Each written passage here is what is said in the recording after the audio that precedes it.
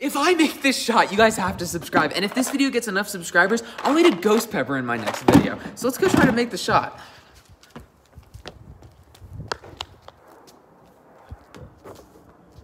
I just said I had to make the shot. I didn't say from where.